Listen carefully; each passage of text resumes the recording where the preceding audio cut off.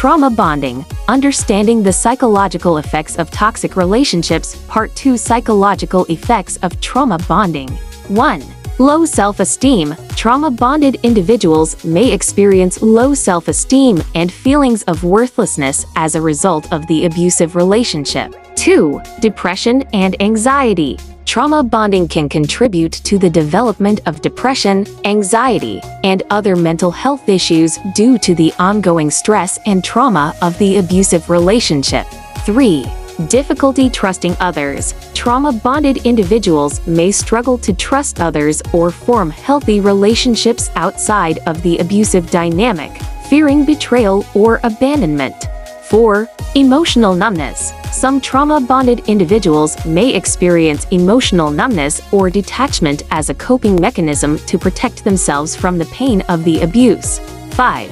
Reenactment of trauma. Trauma-bonded individuals may unconsciously seek out relationships or situations that replicate the dynamics of their abusive past, perpetuating the cycle of trauma, breaking the trauma bond. 1. Recognize the abuse. Acknowledge and accept that the relationship is abusive or harmful, and recognize the impact it has on your well-being. 2. Seek support. Reach out to trusted friends, family members, or a therapist for support and guidance as you navigate breaking free from the trauma bond. 3. Set boundaries. Establish clear boundaries with the abuser to protect yourself from further harm. Communicate your boundaries assertively and be prepared to enforce them if they are violated.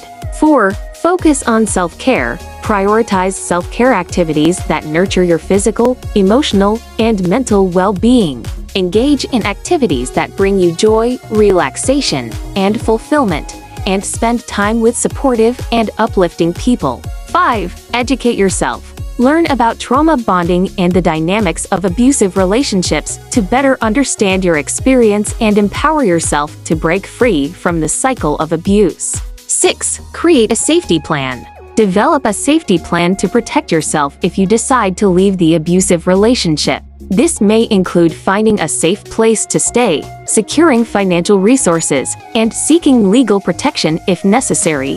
7. Therapy and healing. Consider seeking therapy or counseling to process your experiences, heal from the trauma of abuse, and develop healthy coping strategies for moving forward.